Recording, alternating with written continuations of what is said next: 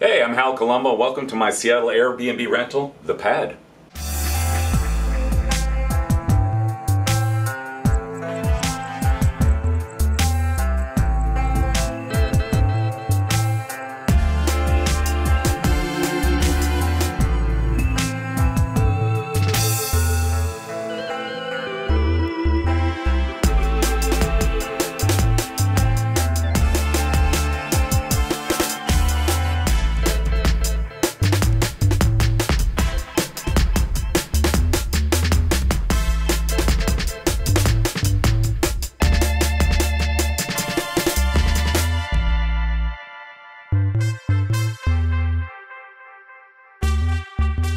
Okay, so I like to collect a bunch of weird, cool crap and put it together. Like I got this nice old stereo here, you know, uh, so my guests can spin vinyl.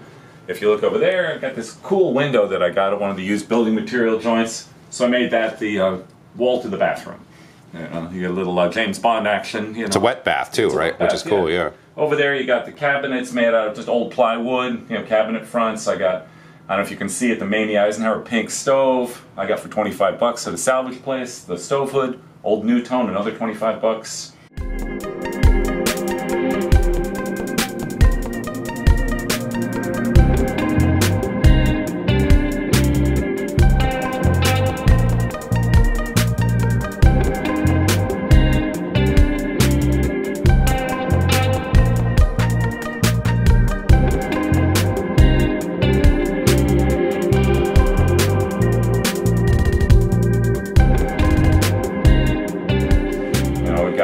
Old chrome set with the chairs. I think there was you know, the matching stuff found at two different places. That lamp over there too. Can you show us that real yeah, quick? seal, you got the, the cool, uh, you know, the old style ceiling lamp that comes down.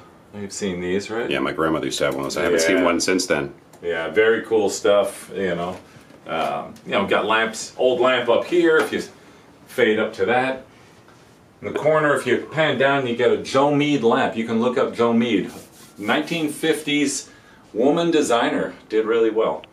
And got the cool old drill that Yeah. definitely had to uh, had to get its own frame. A lot of, lot of bizarre art or salvage made. Yeah, I got art. what I call uh, 1960s dentist office art. You got the you got your um, Yeah, there velvet geese flying across the meadow, and if you turn around behind you, you got your your ships in the harbor. Um, And I, I want to add, you have the uh, teeny tiny guest house, which was in the book Microshelters, which you're in.